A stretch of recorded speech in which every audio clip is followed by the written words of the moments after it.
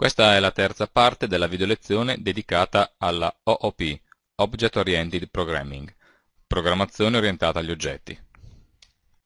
La visione di questa terza parte della videolezione è praticamente inutile se non avete già visto le prime due. Nelle precedenti lezioni ci siamo occupati di incapsulamento. In questa ci occuperemo dell'ereditarietà. L'ereditarietà realizza un vecchio sogno dei programmatori, il poter programmare per differenze. Perché descrivere da zero un mammifero quando posso fare riferimento a una classe da cui discende l'animale? E la stessa cosa per un insetto. Tutte le caratteristiche biologiche di base possono essere raggruppate qui, nella classe madre degli animali, e condivise dalle figlie, insetti e mammiferi. E man mano che si procede per specializzazione, otteniamo classi sempre più ricche di caratteristiche, ma in cui si aggiungono solo le caratteristiche nuove, ereditando dalle classi madri le caratteristiche comuni. Se vogliamo leggere il diagramma invece dal basso verso l'alto, Considerando alcune classi, si cerca di individuare tra queste un gruppo di caratteristiche comuni che possono essere messe a fattor comune in una classe che fa da genitrice. In questo senso si procede per generalizzazione. Si dice anche che tra una classe madre e una classe figlia sussiste una relazione is-e, è un, cioè un oggetto appartenente alla classe dei quadrati e anche un rettangolo, ad esempio. In riferimento a questo nuovo diagramma, in cui ho immaginato una gerarchia per descrivere un sistema grafico, geometrico,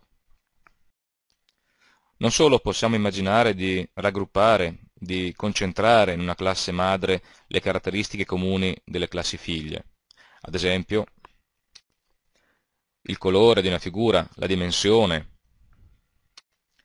la sua posizione sullo schermo, lo spessore del tratto con cui deve essere disegnata, se il contorno deve essere continuo o tratteggiato, e potrei continuare ancora per molto. Dicevo, non solo tutte queste caratteristiche, rappresentate con opportune variabili nello stato interno, possono essere messe a fattor comune in una classe genitrice, ma anche il comportamento di questi oggetti, il modo cioè con cui rispondono alle sollecitazioni che arrivano loro dall'esterno, può essere messo a fattor comune. Immaginiamo infatti di aver previsto per la classe dei rettangoli un metodo chiamato area. Immaginando allora di aver creato un oggetto appartenente alla classe dei rettangoli, chiamato proprio rettangolo, quando in un punto del nostro programma avremo bisogno di sapere il valore dell'area di quel rettangolo, sarà sufficiente invocare il metodo area in questo modo, nome dell'oggetto punto area. Questo valore potrà essere visualizzato sullo schermo, memorizzato in una variabile del tipo opportuno, utilizzato per il calcolo in una formula più complessa, eccetera. Nella letteratura informatica troverete frequentemente in riferimento all'invocazione di un metodo di una classe, anche il termine messaggio. Inviare un messaggio a un oggetto equivale in pratica a chiamare uno dei suoi metodi. In questo senso stiamo inviando il messaggio area al rettangolo.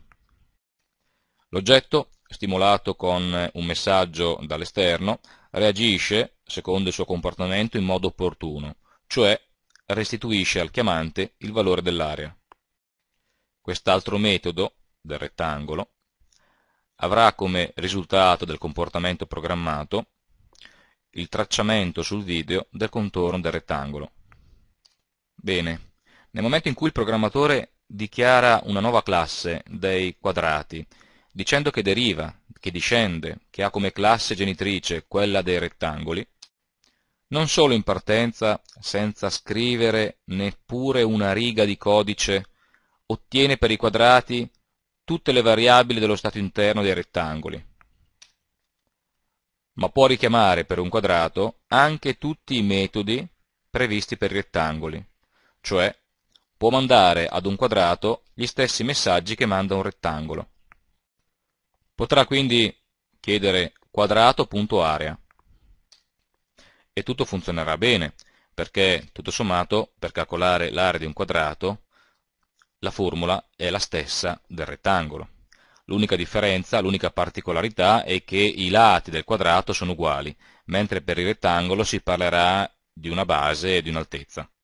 Ma eh, se derivando una nuova classe da una preesistente, tutto ciò che si può fare è semplicemente accettare in eredità lo stesso stato interno, né più né meno, e lo stesso gruppo di metodi, ci ritroveremmo con un meccanismo piuttosto limitato. In realtà il programmatore può arricchire lo stato interno, quindi ad esempio aggiungere delle variabili nuove per il quadrato che non ci sono nel rettangolo. Ovviamente manterrà le vecchie variabili ereditate dal rettangolo e aggiungerà quelle nuove.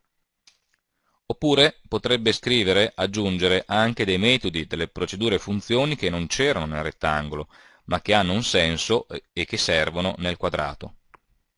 Oppure, ed è uno degli aspetti più interessanti, può decidere che un metodo della classe genitrice, così come è scritto, non è adatto per sé e lo può riscrivere, ma, sottolineo ma, mantenendo lo stesso nome.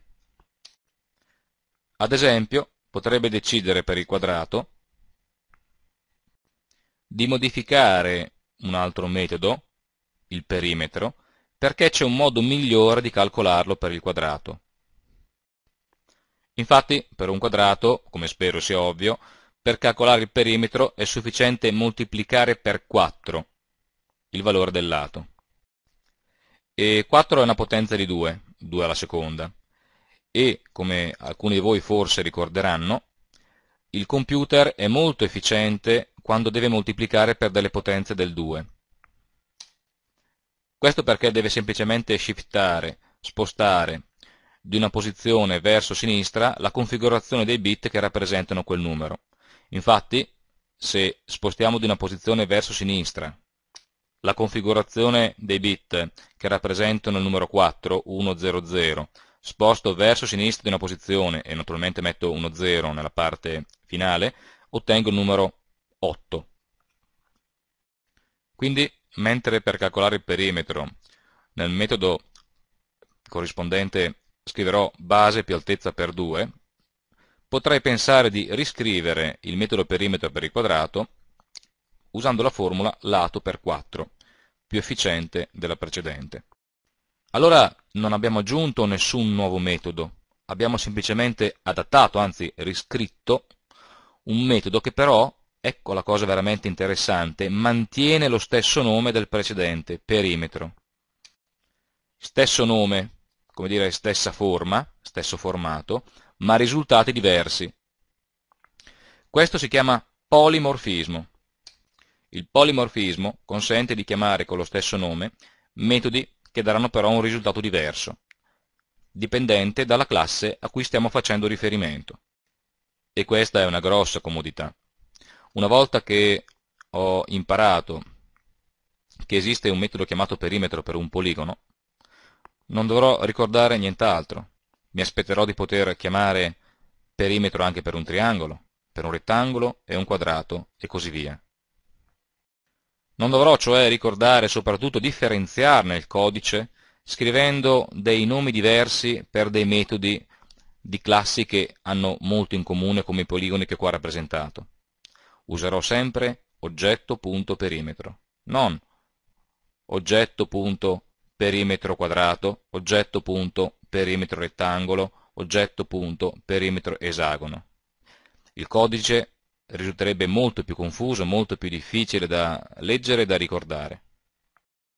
Più avanti vedremo che il polimorfismo, unito a un altro meccanismo chiamato del binding dinamico, consentirà di trattare in modo uniforme delle collezioni di oggetti. Potrei ad esempio memorizzare in un vettore di figure una serie di oggetti tra loro diversi anche se assimilati dall'appartenenza a classi tra loro derivate Quindi potrà avere nel primo elemento del vettore un quadrato, nel secondo un triangolo, nel terzo un esagono e così via. E siccome tutte queste figure potrebbero condividere uno stesso metodo, ad esempio quello per il calcolo dell'area, potrei comandare con un semplice ciclo for una cosa del tipo a somma assegna somma più oggetto di i.area. E quasi magicamente il compilatore saprebbe per ogni oggetto quale giusto metodo area chiamare. Se il primo oggetto è un quadrato, chiamerà l'area dei quadrati, se il secondo oggetto è un esagono, chiamerà il metodo area degli esagoni e così via. Questa possibilità è a dir poco impensabile per un linguaggio tradizionale, dove saremmo costretti a investigare con un if la natura di ogni elemento del vettore, dire se nel primo elemento del vettore c'è un quadrato, allora chiamo la procedura funzione per calcolare l'area dei quadrati. Else, se nel, secondo, nel primo elemento è contenuto un esagono, allora chiamerò la funzione degli esagoni, e così via. Non solo, se in un secondo momento il programmatore dovesse decidere di aggiungere nuove figure geometriche, pentagoni, trapezi, rombi, eccetera, questa riga non dovrà essere modificata. È il compilatore che da solo capisce la natura dell'oggetto memorizzato nel vettore e potrà chiamare il giusto metodo area. Tutto quello che si dovrà fare sarà aggiungere nel progetto naturalmente la unit che contiene la descrizione di queste nuove classi, dei trapezi, dei quadrati, rettangoli, e sarà poi sufficiente solo ricompilare e linkare il progetto. Ma il vecchio codice, ed è questa l'enorme novità, non dovrà essere modificato. Con i linguaggi tradizionali invece l'aggiunta di una nuova figura, anche di una sola nuova figura, avrebbe costretto il programmatore a ritrovare nel vecchio codice tutti i punti in cui, con gli if visti prima, si era costretto a distinguere se è un quadrato fai così, se è un rettangolo fai cosà, se è un trapezio, nuova figura, devi invece fare così. Direi che c'è una bella differenza ma finora le mie sono solo chiacchiere. Vediamo come implementare la classe dei quadrati partendo dalla classe dei rettangoli. Create allora una nuova unit, File, New, Unit e salvatela con il nome u quadrati, io l'avevo già fatto prima.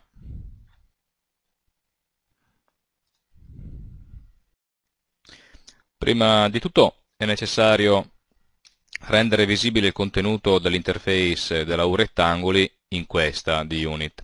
Quindi uses uRettangoli. Mi serve perché dobbiamo accedere ovviamente alla dichiarazione della classe dei rettangoli e derivare da quest'ultima i quadrati. Iniziate la sezione type e cominciate a dichiarare la classe dei quadrati. T quadrati uguale class e tra parentesi mettiamo la classe dei rettangoli t rettangoli.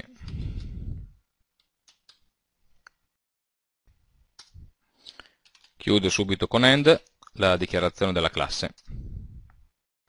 Anche se apparentemente vuota la classe dei quadrati ha a disposizione tutto quello che ha ereditato dalla classe dei t-rettangoli. Però alcune parti, pur ereditate, non saranno direttamente accessibili. Ovviamente mi sto riferendo alle parti private.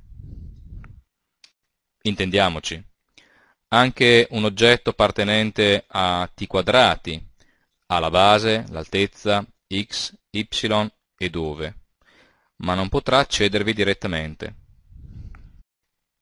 lo potrà fare chiamando un metodo pubblico che poi va a lavorare a sua volta con eh, una variabile private oppure attraverso una nuova categoria di oggetti, metodi compresi, di un livello intermedio come protezione tra private e public chiamati protected, protetti, ma ne, ne parleremo tra poco.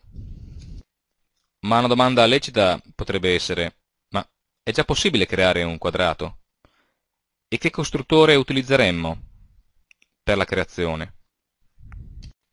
La regola, importantissima da ricordare, è questa. Quando viene invocato eh, di una certa classe un metodo, ad esempio il metodo create per eh, i t quadrati, dapprima il metodo viene cercato tra quelli della classe stessa. E se non viene trovato, come nel caso dei t quadrati, perché questa classe non ha un suo costruttore specifico, allora il metodo viene cercato se la classe discende da un'altra, nella classe genitrice.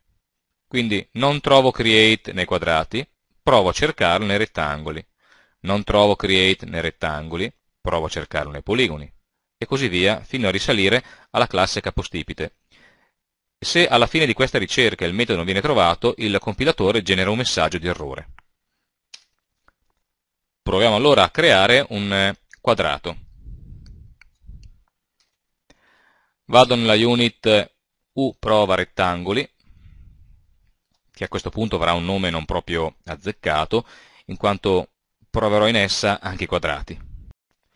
Per poter dichiarare una variabile di tipo t quadrati, devo aggiungere la unit u quadrati nella sezione uses e poi una variabile globale di tipo la chiamo quadrato e sarà di tipo t quadrati. Aggiungo poi sulla form un eh, bottone specifico per creare un quadrato.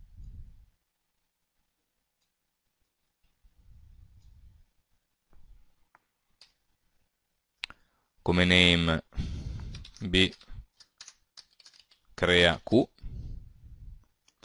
come caption crea quadrato.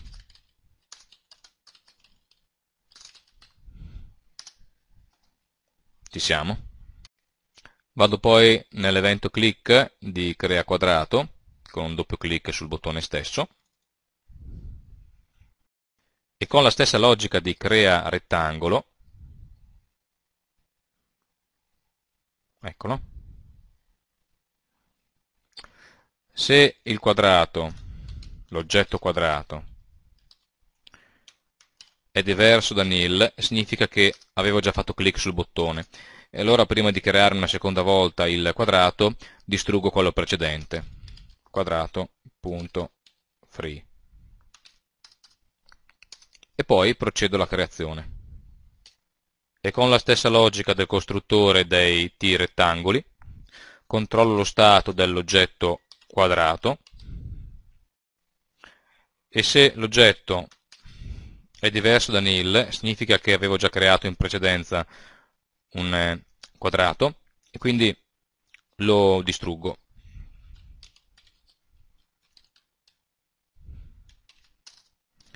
E a questo punto creo il eh, quadrato o il nuovo quadrato.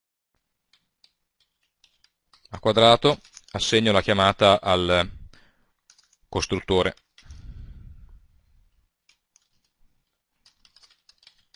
T quadrati attenzione a quello che accade punto create. E guardate cosa propone.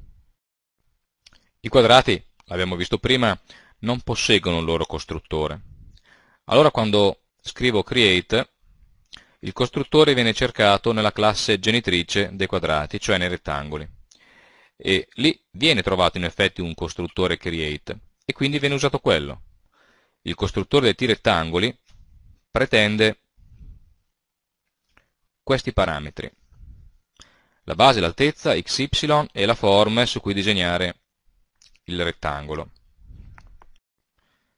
Bene, noi proporremo naturalmente come base altezza lo stesso valore che per noi rappresenta il lato. Decidiamo che il lato verrà inserito nella prima casellina, quella che per i rettangoli era considerata solo la base. A questo punto è comodo andare a fare un copia e incolla della chiamata del costruttore per i rettangoli per avere già pronti i parametri. Andiamo qui, incolliamo quindi se il lato è quello contenuto nella base, dovrò fornire per due volte lo stesso valore. x, y e il resto lo teniamo così com'è. Nel frattempo ho anche corretto un piccolo errore qui, dove mancava una parentesi. E ora anche per il quadrato richiamo un metodo che non esiste direttamente nella classe dei quadrati, il disegna. Quello che succede, come per il costruttore, è che questo viene dapprima cercato nei metodi della classe t quadrati. Non trovandolo, si risale la gerarchia e si va a cercare il metodo disegna nei rettangoli dove viene trovato e quello viene utilizzato. Salvo il progetto con CTRL S, anzi la unit con CTRL S e provo a mandare in esecuzione il programma.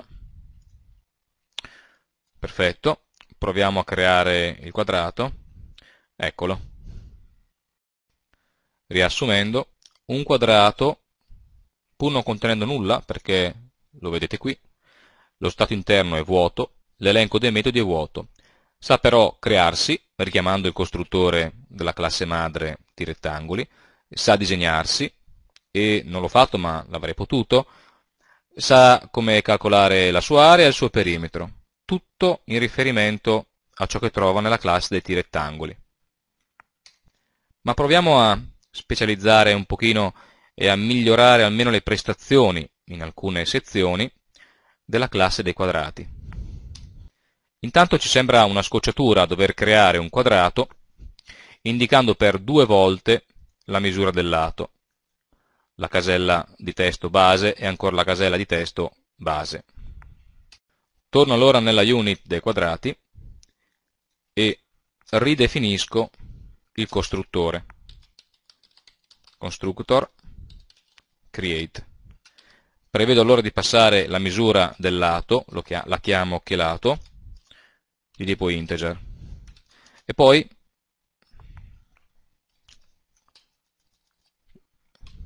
ancora che x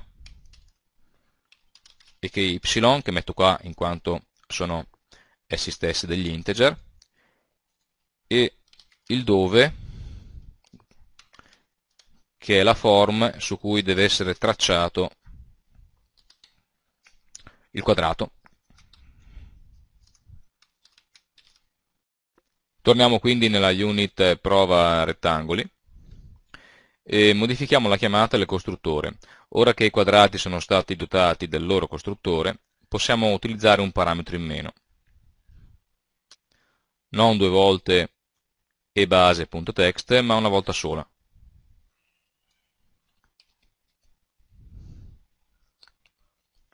il lato, che verrà poi duplicato e copiato e memorizzato nella variabile base e nella variabile altezza, e gli altri che rimangono invariati. La form su cui disegnare è sempre la stessa. mi sta venendo un sospetto? Sì, nei quadrati ho dimenticato anche di indicare nelle uses la classe che contiene la definizione dell'etiform, virgola, forms completiamo la classe dei quadrati scrivendo il corpo del costruttore nella parte implementation. Vedete ho ripreso l'intestazione, ho aggiunto davanti al punto create il nome della classe, begin, end. Ora possiamo procedere in due modi, uno che non sfrutta al meglio l'ereditarietà e l'altro che ovviamente lo fa. Incominciamo col metodo peggiore. Il metodo peggiore, in modo pedissequo, ripropone la stessa sequenza di istruzioni che già abbiamo esaminato per il costruttore dei rettangoli. Quindi il parametro che lato viene memorizzato prima nella base e poi anche nell'altezza. x ed y vengono valorizzati con i rispettivi parametri che x, che x e che y e la variabile dove con il parametro disegna su. Attenzione che ho cambiato il nome del parametro perché era stato scelto come nome dove, che poteva confondersi con il nome della variabile dello stato interno. Quindi sia qui nell'interface che qui, nell'implementation, ho cambiato il nome del parametro che è diventato disegna su. E in dove memorizzo quindi disegna su. Tento ora di far funzionare il programma, ma un errore, anzi un divieto, ne impedirà la compilazione. undeclare identifier base, altezza, eccetera. In pratica ci è stato negato l'accesso diretto, tramite il loro nome, ad alcune variabili dello stato interno, ma è proprio quello che avremmo dovuto aspettarci. Infatti, se andiamo a controllare nella classe dei T-rettangoli, base altezza x ed y e dove sono variabili private. Quindi nessuno al di fuori dei metodi della classe può accedervi direttamente. Il meccanismo della protezione di una classe sta funzionando perfettamente. Una soluzione di ripiego potrebbe essere questa, cambiare lo status delle variabili dello stato interno da private a protected. In questo modo, oltre ovviamente ai metodi della classe stessa, anche e solo i metodi delle classi derivate da t-rettangoli potranno accedere direttamente a queste variabili. Anche se in alcuni casi questa soluzione potrebbe anche essere quella adeguata, certamente abbiamo diminuito il grado di protezione della classe dei rettangoli, ed inoltre stona, questa che di fatto è una ripetizione quasi identica delle istruzioni che troviamo anche nel costruttore dei rettangoli. Vedete, sono praticamente identiche. Di fatto non stiamo utilizzando al 100% le potenzialità della ereditarietà. Vi ricordo che una classe figlia ha la possibilità di richiamare un metodo della classe madre. Perché allora non far sì che il costruttore dei quadrati invochi, chiami il costruttore dei rettangoli per fargli svolgere i compiti di cui ha bisogno, visto che sono praticamente gli stessi. E anche se i compiti del costruttore della classe madre fossero solo una parte di quelli che servono, comunque potremmo prima richiamare quelli e poi completare. Vediamo allora come richiamare dal costruttore dei quadrati quello dei rettangoli. Non è possibile scrivere sempl semplicemente create e poi parametri, perché il compilatore non saprebbe quale create chiamare farebbe già confusione con il create dei quadrati stessi, pensando ad una chiamata ricorsiva, ad esempio. Ma se la gerarchia delle classi prevedesse oltre a quadrati rettangoli anche un'altra classe che sarebbe la nonna dei quadrati, i poligoni e poi le figure, avremmo un'ambiguità che non consentirebbe di scegliere tra i metodi create di questi livelli multipli di classi madri, nonne, antenate, eccetera. Ecco allora che è necessario specificare in questo modo che ci interessa chiamare il costruttore ereditato. In primis verrà cercato con un meccanismo che abbiamo già discusso nella classe madre immediatamente superiore a quella dei quadrati, quindi nei rettangoli, e così via. Il costruttore dei rettangoli prevede un eh, parametro in più, che è l'altezza, ma noi sappiamo che è sufficiente indicare due volte il chelato, e poi riproporre, così come stanno, gli altri parametri, perché sono del tipo giusto e nella sequenza giusta, esattamente come li aspetta il costruttore dei rettangoli.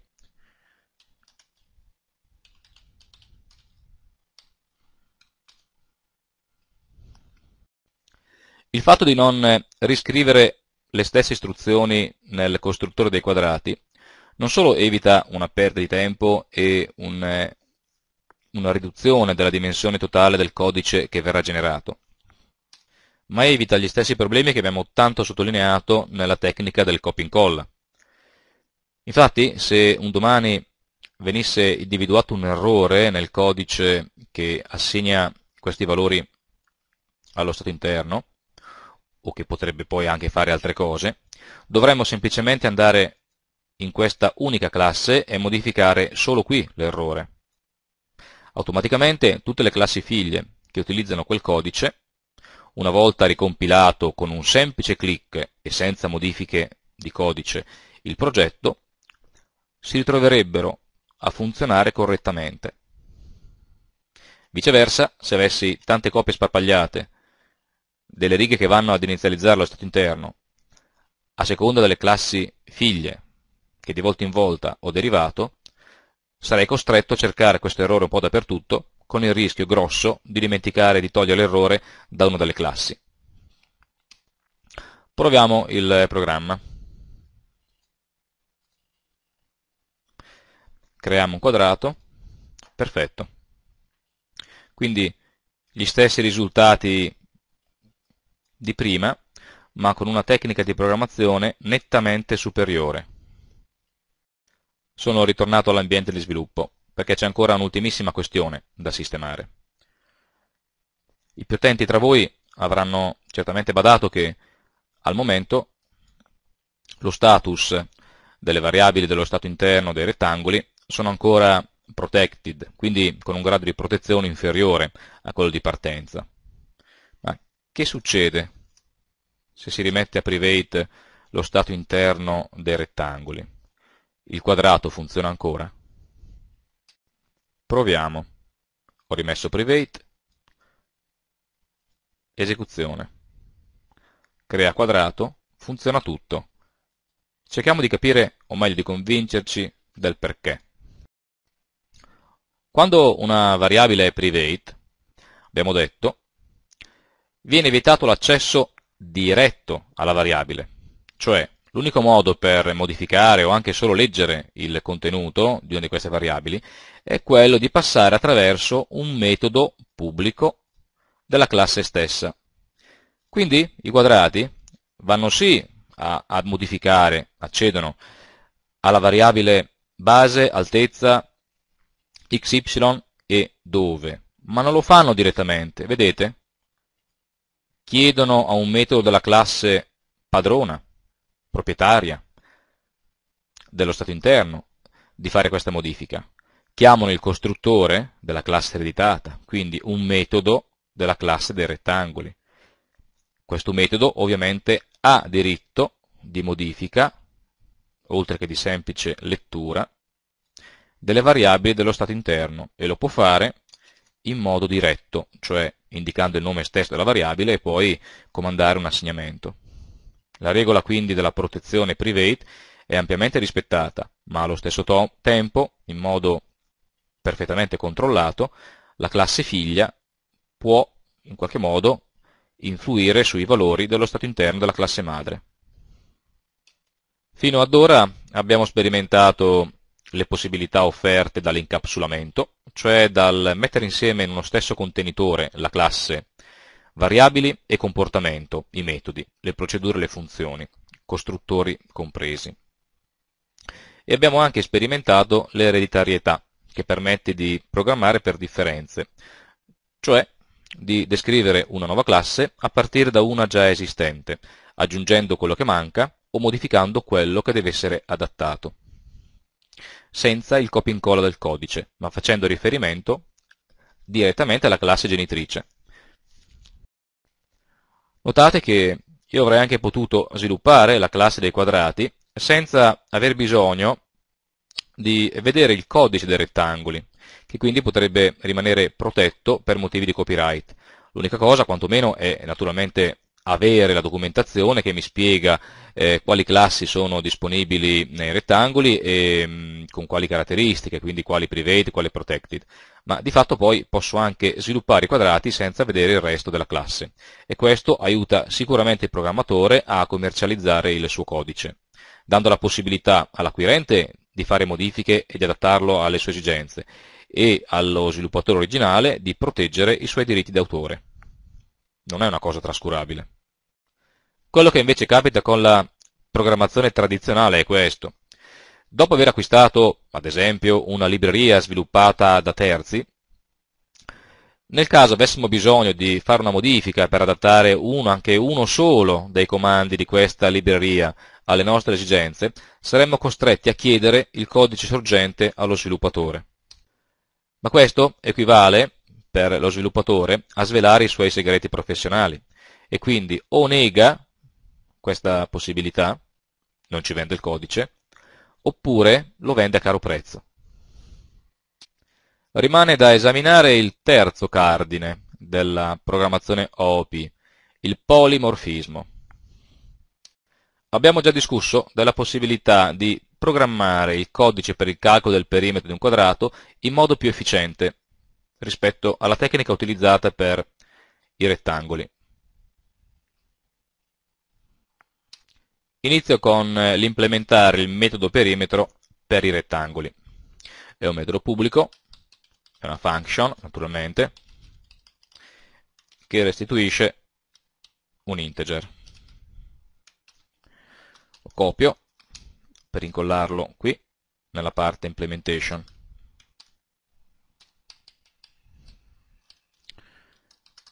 T rettangoli, punto perimetro, è un metodo molto semplice, si limita a restituire questo ovvio valore. Il perimetro è la somma della base più l'altezza moltiplicata per 2. Mi sposto poi nella unit uprova rettangoli e lì dove comando la creazione di un rettangolo, ma anche di un quadrato, andrò a comandare anche il calcolo del perimetro. Dunque, ecco qua, dopo averlo disegnato, aggiungiamo nel memo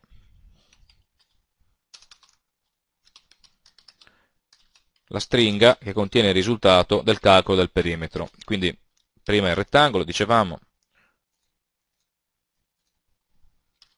rettangolo punto perimetro. E la stessa cosa nel quadrato. Dopo averlo disegnato facciamo aggiungere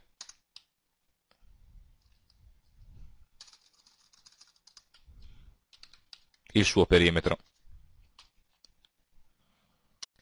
Non avendo dichiarato nella unit dei quadrati, nella classe dei quadrati, un metodo per il calcolo del perimetro, il meccanismo ormai lo conoscete, discendendo il quadrato dal rettangolo, il metodo perimetro verrà cercato nella classe immediatamente superiore, nella classe madre. Qui effettivamente viene trovato ed essendo un metodo pubblico può essere utilizzato. Provo a mandare in esecuzione il programma.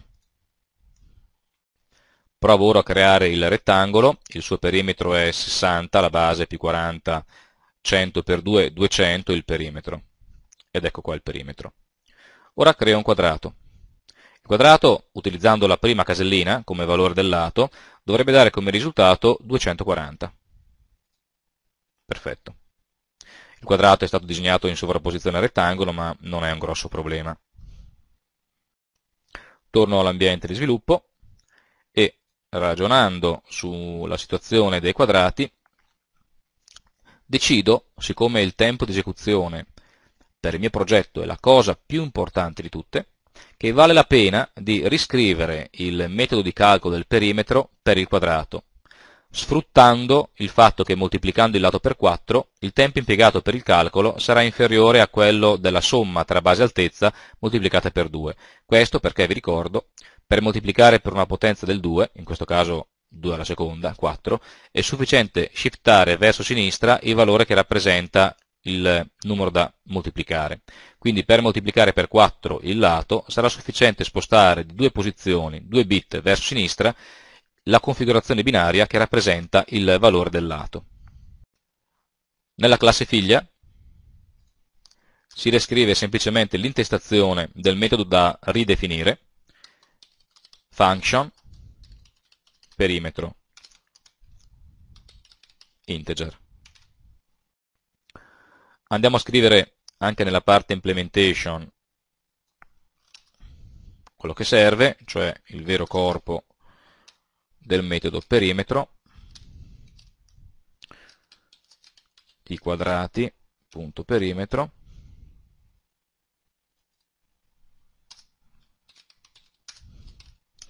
questo metodo è ancora più semplice del, di quello della classe genitrice e il perimetro è semplicemente e adesso attenzione all'inghippo base o altezza, visto che in un quadrato avranno lo stesso valore, per 4. Ok, tutto bene? Tutto male? Riuscite ad anticipare la risposta del compilatore? Pluff. Non so cosa sia base, certo. È ben nascosta private nella classe dei rettangoli. Solo un metodo dei rettangoli può utilizzarla. Come uscire da questo impasse? Se quello che per noi conta di più è la velocità di accesso alla, alla variabile base, è meglio allora cambiare lo status solo di questa variabile da private a protected in questo modo. Aggiungiamo una sezione protected e spostiamo la base in questa zona. Qui dobbiamo cancellare la virgola e qua dobbiamo invece aggiungere il tipo della base che è un integer. La variabile risulta ancora abbastanza protetta, ma in più la classe figlia potrà utilizzarla, quindi base è accessibile anche alla classe dei quadrati e quindi ha un suo metodo. Vediamo se è vero. Provo a compilare, questa volta il compilatore non fa una grinza, creo il quadrato 240, perfetto. Torno all'ambiente di sviluppo. Se invece la velocità, quantomeno quella piccola differenza che ora sto per introdurre, non è un problema, ma lo è invece la sicurezza, allora possiamo lasciare private la variabile base e dare la possibilità dall'esterno, ma in modo controllato, passando sotto il controllo della classe dei rettangoli, la possibilità, dicevo, di accedere in qualche modo alla variabile base. Dovreste anche già sapere come. L'avevamo anche già scritta. La base è una funzione che eh, è in grado di estrarre dal corpo delle variabili private il valore della variabile che abbiamo indicato, ovviamente la base. Quindi il metodo perimetro dei quadrati è vero che essendo ritornata private la variabile base non la può più usare direttamente, ma può chiedere il valore della base invocando questa, che non fatevi ingannare, è una funzione, è un metodo pubblico dei rettangoli che restituisce proprio il valore desiderato. Certo, il prezzo che si paga è un piccolo ritardo, perché per far funzionare, per chiamare una funzione, dobbiamo lavorare sullo stack, eccetera, eccetera. Quindi un piccolo ritardo di fatto c'è. Proviamo a compilare. Creiamo un quadrato. Perfetto. La scelta è tutta vostra. Volete velocità o volete sicurezza? Il massimo delle due cose insieme non è mai possibile.